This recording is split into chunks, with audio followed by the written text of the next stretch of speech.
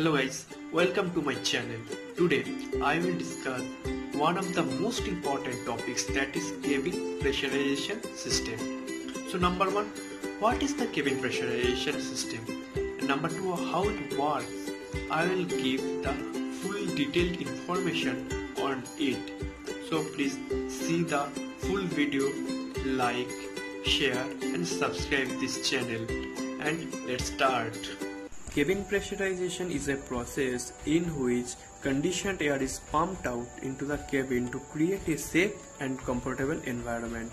Cabin pressurization is designed for the safety and comfort of both pilots, co-pilots, crew and passenger at cruising heights that can reach 40,000 feet.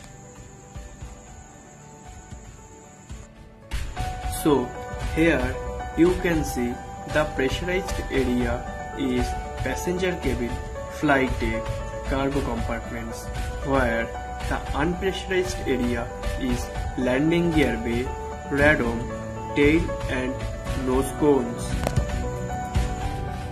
So how the cabin pressurization system works?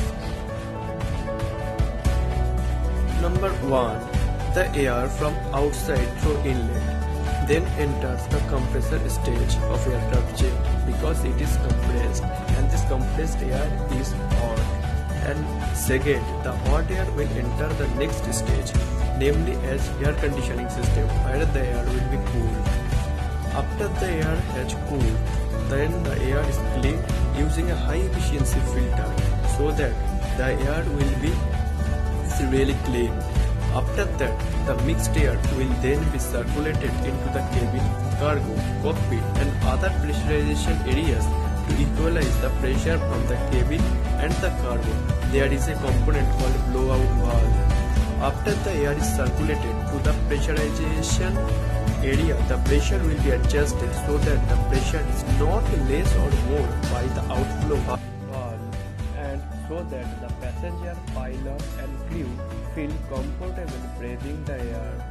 And the important note on this that is the outside air that enters the plane, the same amount of air that is discharged. The entire cabin is replaced every 2 to 3 minutes.